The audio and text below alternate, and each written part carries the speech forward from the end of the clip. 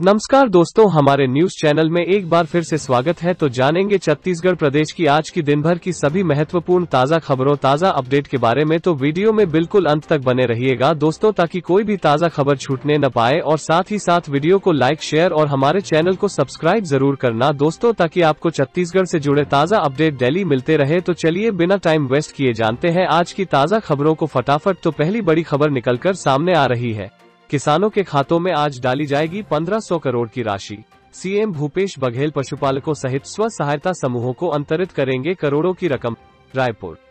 पूर्व प्रधानमंत्री भारत रत्न स्वर्गीय राजीव गांधी की पुण्यतिथि 21 मई को छत्तीसगढ़ सरकार द्वारा राजीव गांधी किसान न्याय योजना के तहत खरीफ सीज़न 2020-21 की पहली किश्त के रूप में प्रदेश के 22 लाख किसानों को 1500 करोड़ रुपए की कृषि आदान सहायता राशि, इनपुट सब्सिडी प्रदान की जाएगी। इसके साथ ही गोधन न्याय योजना के तहत राज्य के करीब बहत्तर हज़ार पशुपालकों को गोबर खरीदी के एवज में सात करोड़ सत्रह लाख रुपए तथा गौठान समितियों और महिला स्व सहायता समूहों को तीन दशमलव छह करोड़ रुपए की राशि ऑनलाइन अंतरित की जाएगी। वीडियो कॉन्फ्रेंसिंग के ज़रिए सांसद सोनिया गांधी और सांसद राहुल गांधी की उपस्थिति में यह कार्यक्रम आयोजित होगा। मुख्यमंत्री भूपेश बघेल अपने मंत्रिमंडल के सदस्यों के साथ 21 मई को दोपहर 12 बजे अपने निवास कार्यालय में आयोजित कार्यक्रम में सर्वप्रथम स्वर्गीय राजीव गांधी के तैल चित्र पर पुष्पांजलि अर्पित करेंगे। इसके पश्चात प्रदेश के 22 लाख किसानों को कृषि आदान सहायता राशि की प्रथम किश्त के रूप में 1500 करोड़ रू कृषकों के खातों में तथा गोधन न्याय योजना के तहत 15 मार्च से 15 मई तक पशुपालकों से गोबर खरीदी की राशि सात दशमलव एक सात करोड़ रुपए का ऑनलाइन अंतरण करेंगे। इस कार्यक्रम में जिलों से सांसद, विधायक, अन्य जनप्रतिनिधि, किसान और पशुपालक भी वीडियो कॉन्फ्रेंसिंग से जुड़ेंगे। अगली बड़ी खबर है, छत्तीसगढ़ में ब्लैक फंगस के सौ से अधिक मरीज़ दुर्ग में सबसे ज़्यादा 18 पेशेंट की पुष्टि, तेईस सस्पेक्टेड भी। रायपुर, एम्स और बीएसपी सेक्टर नाइन समेत निजी अस्पतालों में इलाज जारी। छत्तीसगढ़ में अब कोरोना से ठीक हुए मरीजों में ब्लैक फंगस तेज़ी से अपने पाँव पसार रहा है। स्वास्थ्य विभाग के ताज़ा आंकड़ों के मुताबिक इस बीमारी के मरीजों की संख्या 100 से अधिक पहुँच गई है। सबसे ज़्यादा दुर्ग में 18 मरीजों की पुष्टि हुई है, जबकि ज़िले में 23 मरीज़ सस्पेक्टेड हैं। ज़िले में ब्लैक फंगस के एक मरीज़ की मौत हो चुकी है, जबकि प्रदेश में अब तक ऐसे चार मरीजों की मौत हो चुकी है। दुर्ग के 18 मरीजों में से 9 रायपुर के एम्स में, छह भिलाई स्टील प्लांट बीएसपी के सेक्टर 9 अस्पताल में इलाज करा रहे हैं, जबकि ज़िले के निजी अस्पताल में तीन मरीजों का इलाज चल रहा है। रायपुर एम्स के director doctor Nitin M Nagarkar ने बताया कि न्यूरो सर्जरी और ऑप्थेल्मोलॉजी की टीम के साथ वे खुद ब्लैक फंगस के मरीजों की सर्जरी में जुटे हैं। रोज़ाना करीब पाँच मरीजों की सर्जरी की जा रही है। केंद्रीय स्वास्थ्य मंत्रालय ने एम्स को एम्फोटेरिसिन बी के 250 इंजेक्शन की पहली किस्त भेज रहा है। इधर राज्य के स्वास्थ्य विभाग की ओर से रोज 50 से 100 इंजेक्शन मुफ़्त में भेजकर मरीजों को राहत पहुंचाई जा रही है। साथ ही अगला ब्रेकिंग न्यूज़ है, प्रधानमंत्री के सामने जवाब भी नहीं दे पाए। छत्तीसगढ़ में इस ज़िले के कलेक्टर आसान सवालों के भी जवाब थे। नदारत प्रधानमंत्री के सामने गुरुवार को जांजगीर कलेक्टर यशवंत कुमार की जवाब देते हालत खराब हो गई। बता दें कि कलेक्टर को अपने ज़िले के गाँवों की संख्या पता थी और न ही इस बात का जवाब था कि कितने गाँव कोरोना मुक्त हो चुके हैं। कोरोना संक्रमण को लेकर कोई प्लानिंग भी नहीं बता पाए। इसके बाद प्रधानमंत्री मोदी ने ही कोरोना को लेकर उन्हें प्लानिंग समझानी शुरू की। गौरतलब है कि कोरोना की रोकथाम और वैक्सीनेशन को लेकर आज प्रधानमंत्री मोदी प्रदेश के पाँच कलेक्टरों के साथ वीडियो कॉन्फ्रेंसिंग से जुड़े थे। जांजगीर के अलावा कोरबा, बलौदा बाज़ार, भाटापारा, रायगढ़ व बिलासपुर के कलेक्टर कॉन्फ्रेंसिंग में जुड़े। इस दौरान प्रधानमंत्री नरेंद्र मोदी सबसे पहले जांजगीर के कलेक्टर यशवंत कुमार से जुड़े। तमाम जिलों में कोरोना की व्यवस्था को लेकर जांजगीर कलेक्टर जवाब दे ही रहे थे कि प्रधानमंत्री मोदी ने यशवंत कुमार से सवाल करना शुरू कर दिया लेकिन कलेक्टर सवालों का जवाब नहीं दे पाए। मीडिया रिपोर्ट्स के मुताबिक प्रधानमंत्री मोदी ने कलेक्टर यशवंत कुमार से पूछा आपके ज़िले में कितने गाँव हैं, जिसका आंकड़ा भी कलेक्टर यशवंत कुमार नहीं बता पाए। उन्होंने कहा कि उनके ज़िले में चौदह के कुछ गाँव होंगे। जब प्रधानमंत्री ने उनसे ये पूछा कि कितने गाँव कोरोना से मुक्त हो चुके हैं तो यशवंत कुमार इसका भी जवाब ही नहीं दे सके। इस सवाल पर कुछ देर चुप रहने के बाद कलेक्टर ने कहा कि उन्हें इसकी जानकारी नहीं है। इसके बाद प्रधानमंत्री ने इसके बाद गाँवों से कोरोना को मुक्त करने की पूरी प्लानिंग बताई। उन्होंने कहा कि गाँवों को कोरोना से मुक्त करने की प्लानिंग करनी चाहिए। अगर इस दिशा में काम करना शुरू किया गया तो एक गाँव दूसरे गाँवों से सीखेंगे और फिर दबाव भी उन पर बढ़ेगा कि कोरोना से कैसे गाँव को मुक्त बनाया जाए। साथ ही अगला ब्रेकिंग न्यूज़ है, बड़ी खबर, बिना आरटीपीसीआर टेस्ट के कर सकेंगे हवाई यात्रा, आदेश जारी, रायपुर।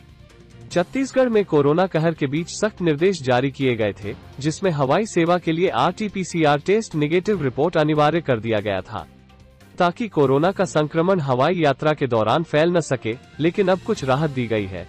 छत्तीसगढ़ शासन सामान्य प्रशासन विभाग के सचिव डॉक्टर कमलप्रीत सिंह ने आदेश जारी किया है जिसमें लिखा गया है कि हवाई यात्रा के माध्यम से अन्य राज्यों से बोर्डिंग के समय आरटीपीसीआर जाँच टेस्ट की रिपोर्ट होने की अनिवार्यता समाप्त की जाती है। आदेश में लिखा कि वायरस के नए वेरिएंट के संक्रमण पर नियंत्रण के परिप्रेक्ष्य में अन्य राज्यों से छत्तीसगढ़ आने वाले यात्रियों के लिए पूर्व में जारी निर्देशों में निम्नानुसार आंशिक संशोधन किए जाते हैं।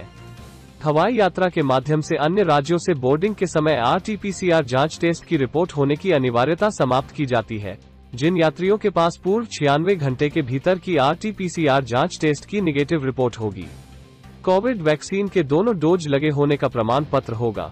उन्हें राज्य के भीतर आगामी यात्रा के लिए अनुमति होगी, जिन हवाई यात्रियों के पास निर्धारित समय अवधि की आरटीपीसीआर जाँच टेस्ट रिपोर्ट नहीं होगी, उनकी कोविड टेस्ट जाँच एयरपोर्ट पर की जाएगी। रिपोर्ट प्राप्त होने तक यात्रियों को स्वयं को होम आइसोलेशन में रखना अनिवार्य होगा। बने रहिए दोस्तों, अगला ब्रेकिंग न्यूज़ है। एक्टर अनुज शर्मा का सिंगल म्यूज़िक वीडियो लॉन्च राज्य की पहली फीमेल म्यूज़िक डायरेक्टर ज्ञानिता ने दिया है संगीत। एक्टर अनुज शर्मा का एक सिंगल म्यूज़िक वीडियो गुरुवार को इंटरनेट पर लॉन्च कर दिया गया।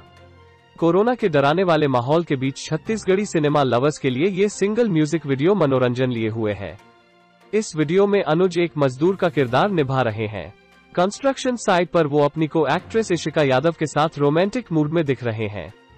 यूट्यूब पर इस वीडियो को पहले ही दिन पैंतालीस हज़ार ऐसी ज़्यादा व्यू मिले हैं। इस म्यूज़िक सिंगल में अनुज शर्मा और ज्ञानिता द्विवेदी ने प्लेबैक किया है।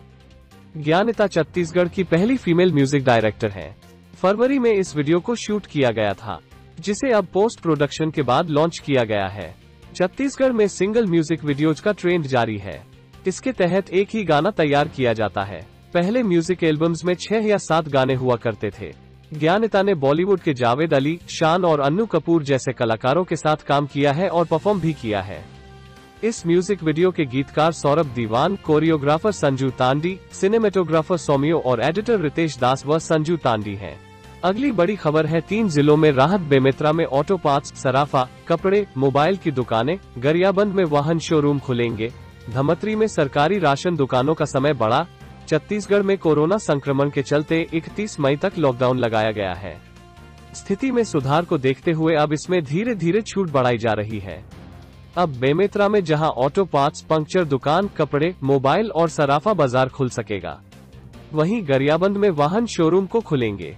दूसरी ओर धमतरी में प्रशासन ने सरकारी राशन की दुकानों के खुलने की समय सीमा को बढ़ा दिया है। बेमेत्रा सुबह छह बजे से दोपहर दो बजे तक छह दिन खुल सकेंगी। दुकानें, जिला प्रशासन की ओर से कहा गया है, वाहन मरम्मत, पंक्चर दुकान, फल, सब्ज़ी, अंडा, मांस, मटन, मछली, पोल्ट्री, आटा चक्की, सराफा, रेडीमेड कपड़े की दुकानें, बर्तन, footwear, mobile shop, cosmetic and gift shop, laundry, packaging, अनाज, किराना, disposal, electronics, electrical, flower shop, auto pump, auto parts, dairy, hardware, भवन निर्माण सामग्री की दुकानें सुबह छह से दोपहर दो बजे सोमवार से शनिवार तक खुल सकेंगी। गरियाबंद दो पहिया और चार पहिया वाहन शोरूम चार घंटे के लिए खुलेंगे। जिला प्रशासन की ओर से लॉकडाउन में आंशिक छूट प्रदान करते हुए दो पहिया और चार पहिया वाहन शोरूम खोल की अनुमति प्रदान की गई है।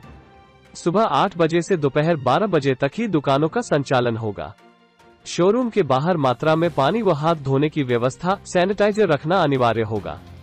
अधिक व्यक्ति जमा नहीं होंगे। बाहर पोस्टर, बैनर लगाना अनिवार्य है। स्टाफ व ग्राहक मास्क पहनेंगे और सोशल डिस्टेंसिंग का पालन करेंगे। धमत्री सरकारी राशन दुकानें पाँच बजे तक खुलेंगी, एक घंटे का होगा ब्रेक। ज़िले में अब उचित मूल्य की सरकारी राशन दुकानें सुबह नौ से दोपहर एक बजे तक और दोपहर दो से शाम पाँच बजे तक सातों दिन खुलेंगी। रविवार को भी अवकाश नहीं रहेगा। कलेक्टर ने विक्रेताओं को निर्देशित किया है कि वे दुकान संचालन के दौरान मास्क, दो गज की दूरी, सैनिटाइजर और फेस शील्ड का उपयोग अनिवार्य रूप से करें। साथ ही उचित मूल्य दुकानों में उपस्थित सभी राशन कार्डधारियों को कोविड 19 टीका लगवाने के लिए भी जागरूक करेंगे। इसी के साथ अगला ब्रेकिंग न्यूज़ है। टीकाकरण के लिए ग्रामीणों को जागरूक कर रही थी मितानिन। महिलाओं ने दौड़ा दौड़ा कर पीटा कोंडा गाँव। टीका लगवाने के लिए बुलाने गई तो ग्रामीणों ने मितानिन रीना नेताम को जमकर पीटा। कोंडा गाँव के माकड़ी पीढ़ापाल में जब मितानिन रीना नेताम गाँव वालों को टीका लगाने के लिए बुलाने गई तो गाँव वालों ने उसे पकड़कर जमकर पीट दिया। यह कहकर भगाया कि उन्हें टीका नहीं लगाना है। मितानिन के साथ मारपीट के मामले के बाद अब जिला प्रशासन यह सोचने पर मजबूर हो गया है। ग्रामीण क्षेत्रों में टीकाकरण की गति कैसे बढ़ाई जाए? इसलिए टीकाकरण के पहले अंदरूनी इलाकों में ग्रामीणों को जागरूक भी किया जाए, जिससे ऐसी घटनाएँ ज़िले में न हो। इसके लिए अलग टीम काम करेगी।